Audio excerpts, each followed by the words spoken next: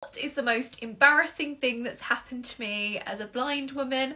I am not just going to give you one, I'm going to give you five. Let's do it. Number one, my family was coming around one day. I wanted to spritz the house because I thought, oh, a bit of air freshener. Put shaving foam all over the carpet.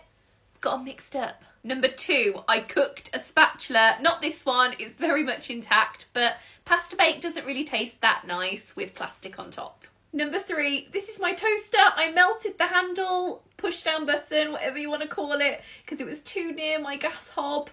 Yeah, I've moved it away now, guys. Number four, I spilt fabric softener all over my phone and it almost broke. Number five, there's been so many times when I thought someone said hi to me, but actually they weren't, they weren't talking to me.